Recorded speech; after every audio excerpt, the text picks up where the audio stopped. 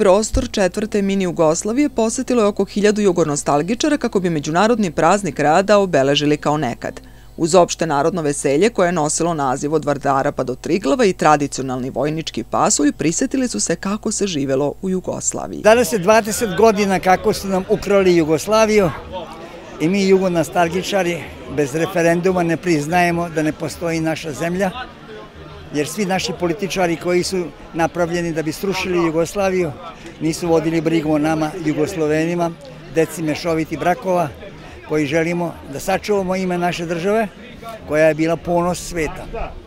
Najbolje se živjelo u Jugoslaviji od svim socijalističkih zemalja, a da ne govorimo o kapitalističkima. Nemate šta upoređivati socijalizam i kapitalizam. Prema tome, dok je nas, bit će Jugoslovena. Mi stari koji smo učestalno ovde, da se podsjetimo, a da njih e, uverimo da je Jugoslavija bila nekada ovaj, veoma prava zemlja koja je, koja je stvarno izredila veoma vrhunske sportiste uh, iz svih kultura, da ne nabrajam, e,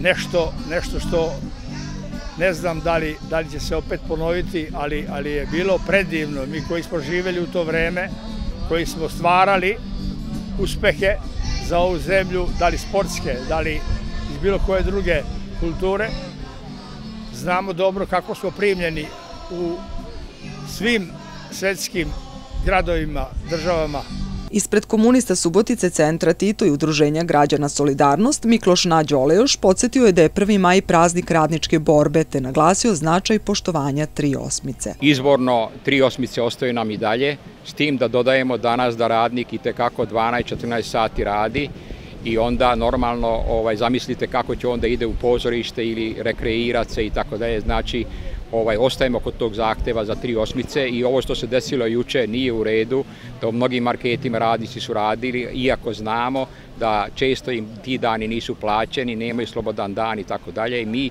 se pridružujemo zahtjevima sindikata da radnici u marketima imaju jedan slobodan dan ovaj, nedeljno znači zahtjevamo da se to reši. Pored bogatog sportskog programa memorialnog turnira u šahu Geza Sekelj priređen je i zabavno-muzički program.